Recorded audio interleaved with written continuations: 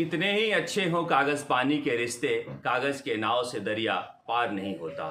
राजस्थान की सियासत में नेता कागज़ के नाव से सियासी दरिया पार करने में लगे हैं। और जिस तरह के हालात हैं, आप देख रहे हैं, किस तरह से केंद्रीय जल शक्ति मंत्री गजेंद्र सिंह और राजस्थान कांग्रेस के मुख्य सचेतक महेश जोशी में तूतू मैं हो रही है।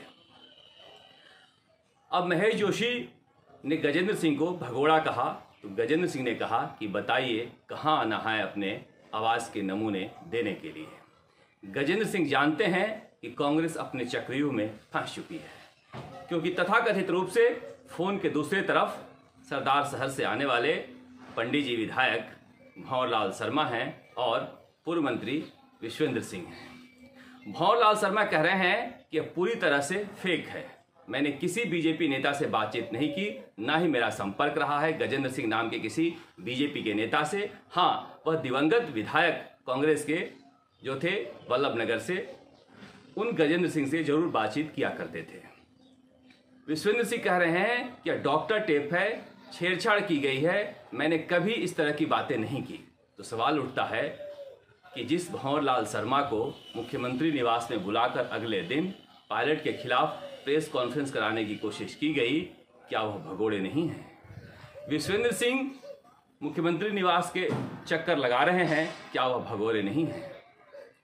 इसीलिए कहा जा रहा है कि जिस तरह के हालात हैं, उसमें कांग्रेस घिरती हुई नज़र आ रही है। अगर अपने विधायकों के खिलाफ कार्रवाई करती है तो कांग्रेस की राजनीति में भूचाल आ सकता है और गजेंद्र सिंह इस हालात का मज़ा ले रहे हैं।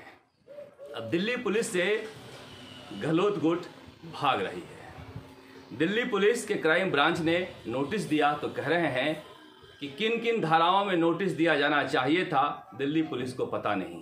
पहले कह रहे थे, यही मुख्य सचेतक, दूध का दूध, पानी का पानी होगा। जब दूध का दूध और पानी का पानी होने का वक्त आया तो कह रहे हैं कि जाँच ठीक नहीं हो रही है। जाँच किसकी ठीक होनी है? एंटी करप्शन ब्यूरो की। तो फिर वो जाँच हो क्यों नहीं रही है?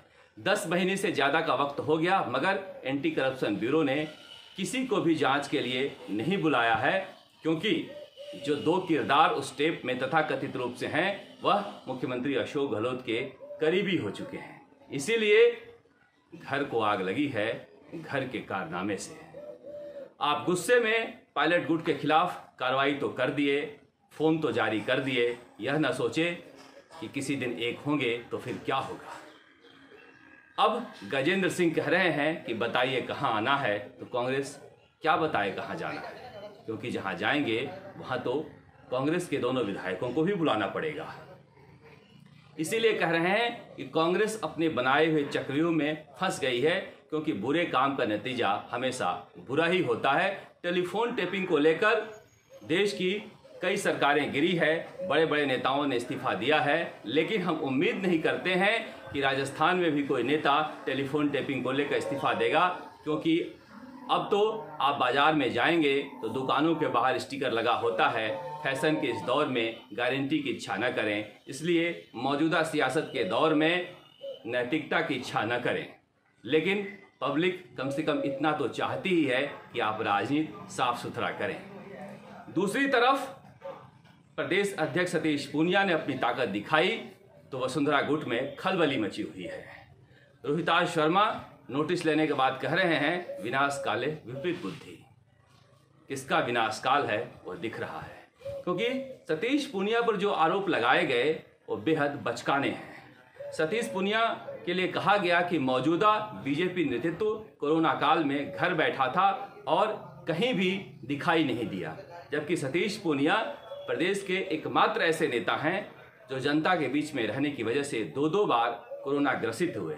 दिल्ली जब वो मैदानता में जा रहे थे, उस दिन भी वो जनता के बीच थे, मीडिया को इंटरव्यू दे रहे थे। इसलिए इस तरह के आरोप सतीश पूनिया पर चस्पा नहीं हो सकते हैं।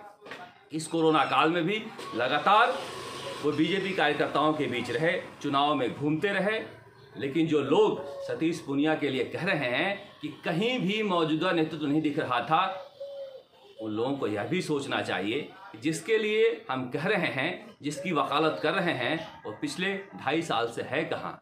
क्या कभी दिखाई दिया? क्या कभी लोगों के दुख दर्द के साथ खड़ा रहा? इसलिए इस तरह के अनर्गल प्रपंच करने से पहले खुद को देख लेना चाहिए। लेकिन हो यही रहा है, कांग्रेस हो या बीजेपी, अपना नहीं देख रही है, दूसरों पर ज़्यादा ध्यान दे रही है कि दूसरा गुट क्या कर रहा है। कम से कम अपना देख लेते तो दूसरे गुट की कोई ज़रूरत ही नहीं पड़ती। राजस्थान तक के लिए जयपुर से शरद कुमार।